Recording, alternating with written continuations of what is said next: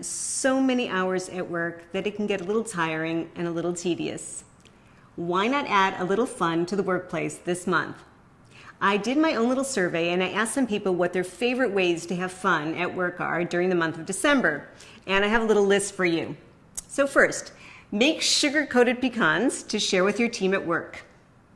Arrange an eggnog or potluck dessert party. Have music breaks at work, rotating the responsibility for choosing the music. Go ice skating together. Have a secret Santa drawing. Or arrange to do charity work together as a team. December is the perfect time to have a little bit of fun at work. I'm Ora, Executive Coach, wishing you a warm and wonderful holiday season.